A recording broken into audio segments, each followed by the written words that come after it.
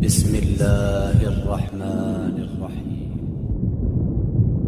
السلام عليكم ورحمة الله وبركاته أعوذ بالله من الشيطان الرجيم بسم الله الرحمن الرحيم அல்லாஹ்வுடைய பேரருளால் நாம் அரபியில் பேசி அடிப்படையை படிக்கணுங்கிற ஒரு எண்ணத்தில் இதுக்கு முன்னால் எழுத்துக்களை பார்த்தோம். எழுத்துகளுக்கு சப்தம் இருக்காது. எழுத்துகளுக்கு பேர் இருக்கும். அந்த சப்தம் வருவதற்குன்னு சில அடையாளங்கள் குறியீடுகள் குறி இருக்கும்னு சொன்னோம். இப்போ அந்த அடையாளங்களில் மேல்கோடு கீழ்கோடு சுழிப்போடு ஃபத்தஹா கசரா லம்மா ஜபர் ஜேரு பேஷு சுக்குன்னு தோ ஜபர் தோ ஜேரு தோ பேஸ் தன்மீன் இவையெல்லாம் பார்த்தோம். இவை அனைத்துமே குறில் எழுத்துகளுக்கான அடையாளங்கள். குறில் எழுத்துகளுக்கான அடையாளங்கள் எல்லாம் முடிஞ்சிருச்சு. அதான் சொல்லுவோம் ஒரு எழுத்துக்கு ஒரு குறில் ஒரு குறி அல்லது ஒரு குறியீடு அல்லது ஒரு அடையாளம். நம்ம இதுக்கு இதுக்கு வந்து என்ன சொல்லுவோம்? அடையாளம்னு சொல்லுவோம் குறின்னு சொல்லுவோம் அல்லது குறியீடுன்னு சொல்லலாம். எதாக இருந்தாலும் நீங்கள் மனசில் வச்சுக்கணும் அப்படிங்கிறதுக்காக தான் மூணே போட்டுக்கணும் ஒரு குறி ஒரு குறியீடு ஒரு அடையாளம். ஏதோ ஒன்று வந்துச்சுன்னா இதில் அது வந்து ஷார்ட் அடையாளம் தான் ஷார்ட் லெட்டர் ஆகும். குறி எழுத்தாக ஆகிவிடும். உதாரணமாக ம ல ர ஷார்ட்டு தான். அ ல உ அளவு. ம ல ர மலர அ ல உ அளவு.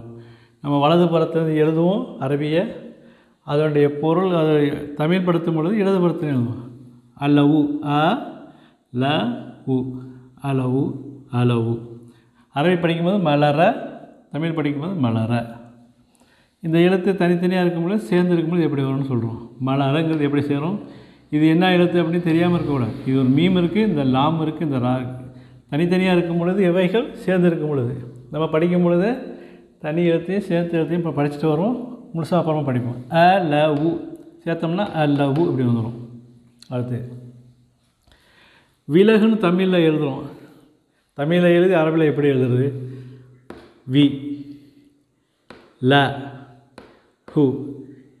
தமிழில் நம்ம கூன்னு போட்டால் கூட உச்சரிப்பு வந்து ஹூங்கிறதுனால விலஹூன்னு படிக்கிறோம். அதனால் விலஹூ சேர்த்து எழுதுனோம்னா வி ல ஹூ விலஹு அதே போல் வரவு வரவு வா முன்னால் வந்துருச்சு. ரா வரவு இது சேர்த்து எழுதலாம். ஆனால் வாவு ஜாயிண்ட் ஆகாது ரா ஜாயிண்ட் ஆகாது அப்படிங்கிறதுனால ஏற்கனவே பார்த்துருக்குறோம். ஆறு எழுத்துக்கள். இடப்புறம் சேராத எழுத்துக்களை கட்டதான் சேராது அப்படின்னு. இப்போ அழகுன்னு எழுதுகிறோம் அழகு எப்படி எழுதலாம்? அ ழ ஹு அழகு. இது எல்லாமே என்ன வருது? ஷார்ட் லெட்டர் குறில் எழுத்துக்கள். என்ன எழுத்துக்கள்? குறில் எழுத்துக்கள். த வ ரு தவறு த வரு த வ தவறு தமிழ் எழுதுகிறோம் இப்போ இதை இப்படியும் எழுதி பார்க்கலாம். கயிறுன்னு எழுதுகிறோம் கயிறு எப்படி எழுதுகிறோம் க ஈ ரு கயிறு. இப்போ நம்ம இது எல்லாத்தையும் பார்த்துட்டோம். இவைகள் எந்த எழுத்துக்கு நீங்கள் இந்த அடையாளங்களை பயன்படுத்தினாலும் அவைகள் குறில் எழுத்துக்களாக வரும். இந்த ஏழு வடிவங்களில் இந்த நாலு வடி நாலு வரையும் எதாக இருந்தாலும் இது நம்ம வந்து சுக்குன் உள்ள எழுத்துக்களை ஜாயின் பண்ணும் பொழுது மூணு எழுத்து உள்ளது நாலு எழுத்து உள்ள பொழுது நம்ம ஜாயின் பண்ணி காட்டுவோம். அப்போ உங்களுக்கு தானாக புரியும். இப்போதைக்கு நீங்கள் புரிஞ்சிக்க வேண்டியது இதில் எதை போட்டாலும் சரி ஒரு எழுத்துக்கு இதில் ஒரு எழுத்தில் ஏதோ ஒரு ஒரு குறியீடு ஒரு குறியீடு வந்துச்சுன்னு சொன்னால் அது ஷார்ட்டாக பயன்படும். அதான் சொல்லிட்டோம் ஒரு எழுத்துக்கு ஒரு குறின்னு வச்சுக்கோங்க. குறியீடுன்னு வைங்க அல்லது அடையாளம்னு வைங்க. இந்த அடையாளங்கள்லேயோ குறியீடுகள்லேயோ குறியிலையோ ஒன்று வந்தால் அந்த எழுத்து ஷார்ட் லெட்டர் குரில் அப்படின்னு வரும். நம்ம முதல்ல வந்து குரில் எழுத்துக்கள் சொன்னால் ஷார்ட் லெட்டர்ஸ் ஷார்ட் லெட்டர் எப்படி வரும் அப்போ ஷார்ட் லெட்டர்ஸுக்கு என்ன போடணும்னு சொன்னோம். இப்போ அடுத்தது வந்து நம்ம வந்து நெடில் லெட் நெடில் எழுத்துக்கள் அதாவது லாங் லெட்டர்ஸ் என்ன செய்யணும் அப்படின்னு சொல்லிட்டு. பொதுவாக லாங் லெட்டர்ஸ் நெடில் எழுத்துன்னு சொல்லும் பொழுது லாங் லெட்டர் நெடில் எழுத்து அப்படின்னா ஒரு குறில் எழுத்துக்களை நெளி எழுத்துக்களாக குறுகி அ ப த அப்படின்னு சொல்கிறத ஆ பா தா அதே போல். ஈ ஈன்னு இருக்குது ஈ பீன்னு இருக்குது பீ தி அப்படிங்கிறத தீ நீட்டி சொல்லணும். அதாவது குறுகி சின்னதாக இருக்கிறத கொஞ்சம் நீட்டு சொல்கிறதுக்கு பேர் தான். நம்ம என்ன செய்யணும்? தமிழில் எல்லாத்துக்கும் புரிகிற மாதிரி சொல்லணுங்கிறதுக்காக குரில் நெடின்னு சொல்கிறோம் குரில்னால் சின்னதாக ஷார்ட்டாக சொல்கிறதுக்கு குரில்னு சொல்லுவோம். நீட்டி நீட்டி சொல்கிறதுக்கு லாங்காக சொல்கிறதுக்கு நெடில்னு சொல்லுவோம். இது சும்மா புரிஞ்சுக்கிறதுக்காக. அப்போ ஒரு குறி எழுத்துக்களை நெடில் எழுத்துக்களாக மாற்றணும்னு சொன்னோம்னா அப்படி மாற்றும் பொழுது நமக்கு வந்து மூணு எழுத்துக்கள் நமக்கு உதவி செய்யும். மூணு எழுத்துக்களை நம்ம என்ன செய்யணும்? அதை பயன்படுத்தணும். ஷார்ட் லெட்டரை லாங் லெட்டராக மாற்றணும் குறில் எழுத்துக்களை நெடில் எழுத்துக்களாக மாற்றணும் சின்னதாக சொல்லக்கூடியதை நீட்டி சொல்லக்கூடியதை ஆக்கணும்னு சொன்னால் மூணு எழுத்து நமக்கு அது பயன்படும். அந்த மூணு எழுத்துக்களை நம்ம பயன்படுத்துவோம். இப்போ உதாரணமாக இங்கே பாருங்க. இதை கொஞ்சம் பேன்னு சொல்லுவோம் இதை. பே. இது வந்து எழுத்து. அந்த பேக்கு சத்தம் வரதுக்காக ப அப்படி மேலே ஜபர் போட்டோம். அதாவது ஃபத்தஹான்னு போட்டோம். பா. இந்த பா கூட ஒரு அலிஃபை சேர்த்தோம்னா இது வந்து பான்னு வரும். பா ப்ளஸ் அலிஃப் சேர்த்தோம்னா இது வரும் பாவோட அலிஃபை சேர்த்தோம்னா பா. சேர்த்து எழுதும் பொழுது பான்னு சவுண்ட் வரும். அப்போ நமக்கு என்ன புரிய வருது? ஒரு குரில் எழுத்த ப அப்படிங்கிற குரில் எழுத்த ஒரு அலிஃபோட சேர்க்கும் பொழுது பா. தமிழில் சொல்ல போகும் பொழுது இது பா அப்படின்னு வந்துச்சு. இந்த பாங்கிறது வந்து இங்கே வரும் பொழுது பா அப்படின்னு வந்துருச்சு. பா. பாங்கிறது பான்னு வந்துருச்சு. இப்போ நமக்கு நல்லா தெரிய வரும். அதாவது இப்போ ப அப்படிங்கிறத இதுக்கு வந்து பானு மாற்றணும்னா ஒரு துணை எழுத்து துணைக்கால்னு சொல்லுவோம் இது போடுவோம். இது மாதிரி தான் என்ன செய்யுது? இந்த துணை எழுத்து மாதிரி தான் இந்த அலிஃப் வேலை செய்யுது. அலிஃப் என்ன செய்யுது? துணை எழுத்து மாதிரி வேலை செய்யுது. உதாரணமாக நீங்கள் பாருங்க. இது இந்த எழுத்து தேன்னு சொல்லுவோம் இல்லை தான்னு சொல்லுவோம். இந்த தாக்கு மேலே இந்த ஜபர் மட்டும் போட்டோம்னா த அப்படின்னு சவுண்ட் இருக்கும். இது த சவுண்ட் இருக்கும். இது பக்கத்தில் அலிஃப் இது ஒரு கால் போட்ட மாதிரி. இப்போ இந்த எழுத்து என்ன ஆயிடுச்சு? தான்னு மாறி போச்சு தமிழில் சொல்லும்பொழுது தான்னு மாறி போச்சு தனித்தனியாக எழுத்து இருக்கிறது அரபியில் எப்போவுமே சேர்த்து எழுதுவாங்க. இதுதான் தா அப்படின்னு போயிடுச்சு. புரியுதுங்களா? த அப்படின்றது ஒரு அலிஃப் போட்டதுனால தான்னு மாறுச்சு. தாங்கிற எழுத்துக்கு ஒரு துணைக்கலை போட்டும்பொழுது தான்னு மாறுச்சு. இது இது படிக்கும் பொழுது தான்னு வாசிக்கணும் படிக்கணும். அந்த எழுத்தை ஜாயின் பண்ணிட்டோம்னா இந்த எழுத்து இதோட சேர்த்து ஜாயின் பண்ணோம்னா தான்னு வந்துடும் அடுத்தது இந்த எழுத்து ஜீம்னு நம்ம சொல்லுவோம். ஜீம். இந்த ஜீமுக்கு மேலே கோடு போட்டோம்னா ஜ. ஜாக்கு ஒரு அலிஃபு சேர்த்தோம்னா ஜா ஒரு துணை எழுத்து. ரெண்டையும் சேர்த்தோம்னா ஜான்னு வந்துடும் அதை சேர்த்து எழுத்தும் பொழுது ஜா. அப்போ ஒரு ஜபர் இருக்கும் பொழுது ஜபர். ஜபர் இருக்கும் பொழுது ஒரு அலிஃபை சேர்த்தோம்னு சொன்னால் அந்த எழுத்து வந்து லாங்காக போகுது அப்படிங்கிறது தெரியுது. குறிலை நெடிலாக்க வாவ் அலிஃப் யா என்ற மூன்று எழுத்துக்கள் அவசியம். சுருக்கமாக சின்ன எழுத்துக்களை பெரிய எழுத்துக்கள். அதாவது சின் அதாவது சு- சுருக்கமாக சொல்ல வேண்டிய எழுத்துக்கள். அ ப த அப்படிங்கிற எழுத்துக்களை ஆ பா தா அப்படின்னு மாற்றணும்னு சொன்னால் அதுக்கு நமக்கு வந்து மூணு எழுத்து தேவைப்படுது. வாவு அலிஃபு யா இந்த மூணு எழுத்து தேவைப்படுது. அதை பாருங்க நம்ம அழகாக இல இலவாக புரிஞ்சுக்கிறதுக்கு சொல்லுங்க. ஒரு மேல்கோடு ஜபர்னு சொல்கிறோம்ல ஃபத்தஹா. மேல்கோடு ஜபரோடு என்ன செய்யணும்? ஒரு அலிஃபு சேர்ந்தால் ஜபரோடு ஒரு அலிஃப் சேரணும். உதாரணமாக பாருங்கள் இந்த பாண்ட் இருக்குது இதை நம்ம தமிழ் உருதுல சொல்லும்போது பேன்னு சொல்லுவோமா? தனி எழுத்தாக இருக்கும் பொழுது பேன்னு சொல்லுவோம் ஞாபகம் வச்சுக்கணும். இந்த பேன்னு சொல்கிறத மேலே ஒரு ஜபரை சேர்க்கும் பொழுது ப அப்படிங்கிற சவுண்ட் வந்துச்சு. என்ன சவுண்ட் வந்துச்சு? பேங்கிறதுக்கு மேலே ஒரு ஜபர் போடும் பொழுது ஃபத்தஹா போடும் பொழுது ப அப்படின்னு சவுண்ட் வந்துச்சு. இந்த ப அப்படிங்கிறதோட ஒரு அலிஃபை சேர்க்கும் பொழுது பா அதாவது இந்த பாங்கிற தமிழ் வந்து பானு மாறணும்னு சொன்னால் ஒரு அலிஃப் சேர்க்கணும். துணக்கால் தான் இந்த அலிஃப்னு சொல்கிறோம் அதே போல் இந்த ரெண்டு எழுத்தும் தனித்தனியாக இருக்கிறத சேர்த்து எழுத முடியுமா? சேர்த்து எழுத முடியும். பா. பாவை அலிஃபோட சேர்த்து பான்னு எழுத முடியும். இதுவும் இதுவும் ஒன்று இது சேராமல் தனியாக இருக்குது இது சேர்ந்து இருக்குது அடுத்தது இப்போ உதாரணமாக அடுத்த எழுத்து கீழ்கோடு. மேலே வந்து மேல்கோடுனா ஜபரை பற்றி பார்த்தோம் ஃபத்தஹா பற்றி பார்த்தோம். கீழ்கோடு ஜேருன்னு சொல்லுவோம். அரபியில் கசரான்னு சொல்லுவோம். கீழ்கோடு கசராவுடன் யா. கசரா இருக்கும் பொழுது யா சேர்த்திங்கன்னு சொன்னால் சின்ன எழுத்து அதாவது குறுகிய எழுத்து நீட்டல் எழுத்தாக போகும் நெடியில் எழுத்தாக போகும். குறி குறில் வந்து நெடிலாக போகும். ஜேருக்கு யா வரும். அதாவது தேங்கிற ஒரு எழுத்து இருக்குது அந்த தேக்கு கீழே ஜேரு கசரா போடும் பொழுது தி அப்படின்னு வருது. ஜேருக்கு தோதுவாக நம்ம சொன்ன ஏவை போடணும்னு சொன்னோம். ஜேருன்னு சொன்னால் யா வரணும். அந்த ஜேக்கு பக்கத்தில் யாவை போட்டோம்னா தி என்பது தீன்னு மாறுச்சு. தீ என்பது தீன்னு மாறுச்சு. இதை தீயை தனித்தனியாக எழுதணும். இப்போ தீயை சேர்த்து எழுதியிருக்கணும். இது வந்து ஜேருக்கு உதாரணம். அடுத்தது சுழிக்கோடு. சுழி போடுவோம்ல சுழி போடுன்னு சொல்லுவோம் சுழிக்கோடுன்னு சொல்லுவோம்.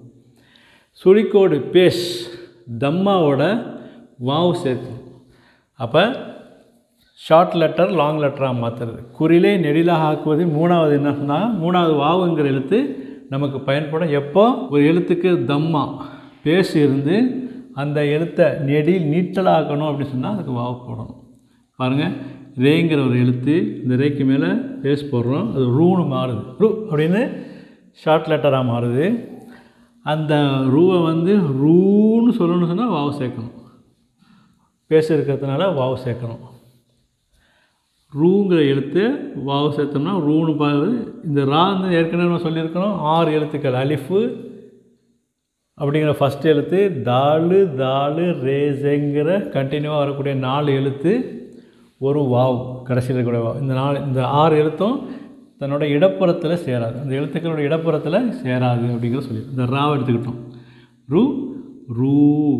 இது நம்ம சேர்த்து எழுதினாலும் இப்படி தான் இருக்கும். ரூங்கிறத நம்ம சேர்த்து எழுதினாலும் இப்படி தான் இருக்குங்க ஞாபகம் இப்போ நமக்கு தெரிய வேண்டியது என்ன? ஒரு ஷார்ட் லெட்டர் ஒரு குறுகிய எழுத்தை லாங்காக மாற்றணும்னு சொன்னால் அந்த எழுத்து மேலே என்ன இருக்குதுன்னு பார்க்கணும். உதாரணம் ஒரு எழுத்து மேலே என்ன இருக்குது அப்படின்னு பார்க்கணும். உதாரணமாக ஹே அப்படின்னு இருக்கா? ஹேக்கு மேலே ஜபர் இருக்கா? இப்போ ஜபர் இருந்தால் அலிஃபை கொண்டு வரணும். ஜபர் இருந்தால் அலிஃபை கொண்டு வரணும். ஒரு எழுத்து ஹி ஜேர் இருக்கா? ஜேர் இருந்தால் யாவை கொண்டு வரணும் அப்போ தான் லாங்காக போகும். ஜபர் இருந்தால் அலிஃபை போடுங்க அது லாங்காக போகும். நீட் நெடில் எழுத்தாக போகும். ஜேர் இருக்கக்கூடிய குறில் எழுத்தை ஏ சேர்த்திங்கன்னா ஜேர்னா கசராக இருக்கக்கூடிய குறில் எழுத்தை ஏயை சேர்த்தோம்னா அது நெடில் எழுத்தாக மாறும். உதாரணமாக ஹி அப்படின்னு இருக்கு. அது ஹீன்னு மாறிச்சு. அந்த ஹீயை வந்து சேர்த்து எழுத முடியும். இந்த ஹே யாவையும் சேர்த்து எழுத முடியும். இது ஹீன்னு நம்ம போட்டுக்கிட்டோம். சரி அதே போல் ஒரு எழுத்துக்கு பேஸ் இருக்குது அந்த பேஸு இந்த ஹூ அப்படிங்கிறத ஹூன்னு நீட்டணுமா? வாவ் போடுங்க. வா போட்டிங்கன்னா இந்த ஹூ என்பது ஹூன்னு மாறும். ஹாவையும் வாவையும் சேர்க்க முடியுமா? சேர்த்து பார்க்கும்பொழுது இப்படி இருக்கும். ஹூ. நம்ம ஏன் தனியாக போகிறோம்னா இதில் என்ன எழுத்து இருக்குது இதில் நமக்கு தெரியாமல் போகலாம் அப்படிங்கிறதுனால இது முதல்ல தனியாக போட்டு தனியாக போட்டு காட்டுறோம். இது தனியாக போட்டு காட்டுறோம் அப்புறம் சேர்த்து காட்டுறோம். தனியாக போட்டு காட்டுறோம் அப்புறம் சேர்த்து காட்டுறோம். தனியாக போட்டுட்டு சேர்த்து காட்டுறோம். இங்கே வந்து தனியாகவும் போட்டாலும் சேர்த்து போட்டாலும் இந்த எழுத்து சேராதுங்கிறது நம்ம ஏற்கனவே சொல்லியிருக்கோம். ரே வந்து பக்கத்தில் உள்ள இடத்துல சேராதுன்னு ஞாபகம் இப்போ வந்து நீங்கள் சின்ன பிள்ளைக்கு சொல்லிக் கொடுக்கணும்னு ஆசைப்பட்றீங்க. இந்த சின்ன பிள்ளைங்க விளங்கணும் அப்படின்னு ஆசைப்பட்றீங்க அப்படின்னு சொன்னால் இதை வந்து சின்ன பிள்ளைக்கு தான் நம்ம சொல்லிக் கொடுக்குறோம். நம்ம சின்ன பிள்ளைக்கு சொல்லிக் கொடுக்கும்போது நமக்கே ஒரு பாடமாக வந்துடும் அப்படிங்கிறதுக்காக ஒரு பாட்டு மாதிரி சொல்லலாம். ஃபத்தஹா ஜபரு மேல்கோடு நீட்டி சொல்ல அலிஃப் சேரு கசரா ஜேரு கீழ்கோடு நீட்டி சொல்ல யாசேரு. நீட்டி சொல்லன்னு இப்படி போட்டுக்கிறோம் டிக்டோ போட்டுக்கிட்டு இப்படி இப்படி நீட்டி போடலாம். நீட்டி சொல்ல யாசேரு. தம்மா பேசு சுழிப்போடு நீட்டி சொல்ல வாவ் சேரு. ஒரு பாட்டாக படிக்கணும்னு நினச்சா இந்த சேருங்கிற இடத்துல கூட இந்த சேரு என்பதை கூட என்ன செய்யலாம்? போடு அப்படின்னு கூட போட்டுக்கிட்டால் கூட பாடு பிள்ளைங்களுக்கு பாட்டை வந்து இலகுவாக சொல்லிக் கொடுக்கலாம். ஒரு பாட்டாக சொல்லிக் கொடுக்கணும்னு நினைக்கிறீங்க பிரியப்படுறீங்க அப்படின்னா அங்கே பாருங்கள் ஃபத்தஹா ஜபரு மேல்கோடு நீட்டி சொல்ல அலிஃப் போடு. கசரா ஜேரு கீழ்கோடு நீட்டி சொல்ல யா போடு. லம்மா பேசு சுழிப்போடு நீட்டி சொல்ல வா போடு. அதை பாட்டாங்க போகும்போது ஃபத்தஹா ஜபரு மேல்கோடு நீட்டி சொல்ல அழிப்போடு கசரா ஜேரு கீழ்கோடு நீட்டி சொல்ல யாப்போடு லம்மா பேசு சுழிப்போடு நீட்டி சொல்ல வாப்போடு. இப்படி பிள்ளைங்களுக்கு பாடமாக சொல்லி கொடுத்தீங்கன்னா ஒரு பாட்டாக சொல்லி கொடுத்தீங்கன்னா அந்த பிள்ளைங்களுக்கு கொஞ்சம் ஈஸியாக பணப்படும் பெரியவங்க வந்து நார்மலாக எடுத்துக்குவாங்க. சில பெரியவங்களுக்கு பாட்டாக புரியும்னு சொன்னாக்க இப்படி சொல்லி கொடுக்கலாம். இப்போ ஏழு மூணு பத்து அடையாளங்கள் பத்து குறிகள் பத்து குறியீடுகள் இப்போ என்ன செஞ்சிருச்சு? முடிவடைஞ்சிருச்சு. அப்போ நமக்கு இதில் என்ன முக்கியமாக தெரியுது ஷார்ட் லெட்டர் முடிஞ்சிருச்சு லாங் லெட்டர் முடிஞ்சிருச்சு. இதில் வந்து இந்த புள்ளி எழுத்தும் சுக்குநூல் எழுத்தும் முடிஞ்சிருச்சு. இப்போ நம்ம என்ன செய்யலாம்? ஒரு தமிழ் எழுத்துக்களை அரபியில் எழுதலாம். அரபி எழுத்தை தமிழில் எழுதலாம். ஆகவே நமக்கு தெரிஞ்சிக்க வேண்டியது அது சின்ன பிள்ளைக்கு எப்படி நம்ம பாட்டாக சொல்லி கொடுக்குறோமோ பாட்டாக சொல்லிக் கொடுக்குறத அதை இப்படி கூட சொல்லுங்க பாருங்க. உதாரணமாக மேல்கோடு ஜபர் இருக்கா? இது ஃபத்தஹான்னு சொல்லுவோமா? ஃபத்தஹாவின் கூட்டு அலிஃபுடன் இருக்கணும். கசரா ஜேரன் கூட்டு ஜேரோட கூட்டு வந்து யாவோடு இருக்கணும். லம்மாங்கிற பேசுடைய கூட்டு வாவோடு இருக்கணும். இது என்ன சொன்னாங்க பிள்ளைங்களுக்கு சொல்லும் பொழுது? ஃபத்தஹாவுடைய ஃப்ரெண்டு அலிஃபு. ஜபருடைய ஃப்ரெண்டு அலிஃபு. கசரா. கசராவுடைய ஃப்ரெண்டு யா? அதாவது ஜேருடைய ஃப்ரெண்டு யா? லம்மா. லம்மாவுடைய ஃப்ரெண்டு வாவு. லம்மான்னு சொன்னால் பேசுடைய ஃப்ரெண்டு வாவு. எந்த எழுத்துக்கு ஜபர் வருமோ அந்த ஜபருக்கு அடுத்து வந்து ஒரு அலிஃபை சேர்க்கணும்னா அது லாங்காக போகும். எந்த எழுத்தில் ஜேரு இருக்குமோ ஜேரு. கசரா இருக்குமோ அந்த ஜேருக்கு பக்கத்தில் யாவை சேர்த்தோம்னா இந்த கசராவுடைய கூட்டு யா. ஜேருட வந்து யாவை சேர்த்தோம்னா அது லாங்காக போகும் இப்போ நம்ம இந்த இது இந்த மூணு எழுத்து நம்ம ஏற்கனவே சொல்லியிருக்கிறோம். குறிலை நெடிலாக்க இந்த மூன்று எழுத்துக்கள் அவசியம். அது இல்லாமல் ஒரு எழுத்தை நீளமாக ஆக்க முடியாதுங்கிறது வரைக்கும் அதே போல் எந்த எழுத்துக்கு பேசு இருக்குமோ அந்த எழுத்துக்கு அடுத்து வாவு கொண்டு வந்தோம்னா அந்த எழுத்து லாங்காக போடும். நெடிலாக்கணும். குறியிலே நெடிலாக்குறது. ஆக இந்த இதை வந்து சரியாக புரிஞ்சுக்கணும். இதை புரிஞ்சிட்டோம்னா இதை வச்சு நம்ம என்ன செய்யணும் அடுத்தடுத்த பாடங்களை சொல்லும் பொழுது ரொம்ப இலகுவாகவும் குரானை ஓதுறதுக்கு விரைவான ஒரு வழியாகவும் இருக்கும். ஸ்பீட் வேயாக இருக்கும்.